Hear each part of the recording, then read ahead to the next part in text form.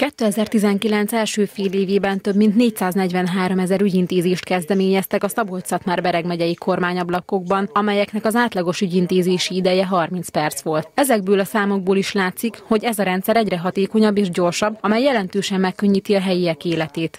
Nagyon fontosnak tartom, hogy itt helyben is megnyílhatott egy új kormányablak, hiszen ez a település egy nagyon nagy múltú település, már az 1200-as években is említés volt róla, tehát árpádkori település, és mindig arról volt híres, hogy bizony meg tudta védeni saját magát, egy olyan erőssége volt, egy olyan vár, ami bevehetetlen volt. Azt gondolom, hogy ez példa az egész ország számára.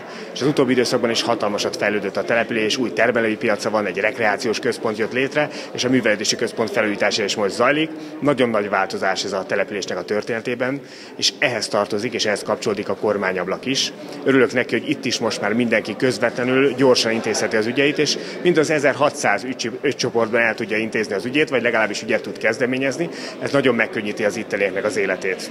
Az egykori okmányiroda helyén kialakított intézményben a kibővült feladatkörhöz igazodva az ügyintézők létszáma is nőtt szabolcs már Bereg megyében jelenleg 24 kormányablakunk van, illetve van egy kormányablak buszunk.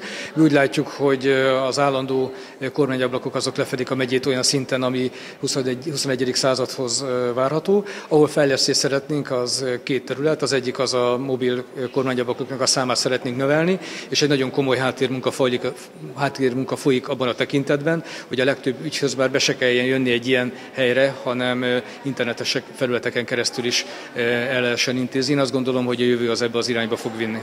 A közigazgatás korszerűsítése is része annak a törekvésnek, hogy Magyarország 2030-ra Európa leginkább élhető országai közé zárkózzon fel. A kormányablakok rendszerének kiépítése 8 éve kezdődött, ma pedig már Európa más országai is követendő mintaként tekintenek rá, hangzott el az ünnepségen.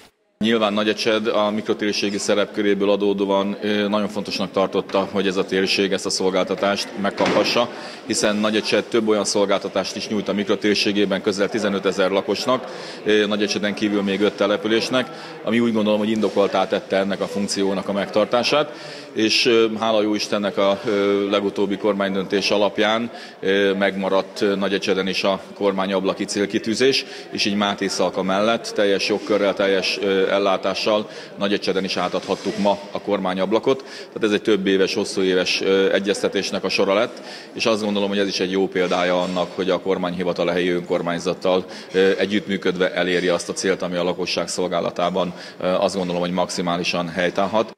A nagyecsedi kormányablakban július 8-án, július 11-én és július 12-én az ügyfélfogadás szünetel. Ezt követően a megszokott rendben várják az ügyfeleket.